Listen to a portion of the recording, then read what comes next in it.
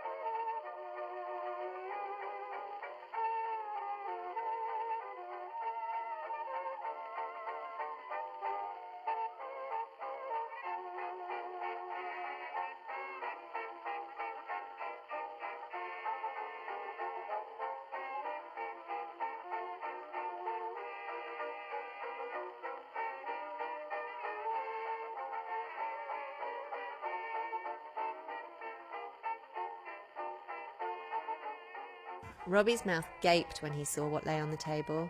A large porcelain platter was arranged with mouth-watering biscuits. Around a chocolate birthday cake, glossy dark icing still dribbling down the sides.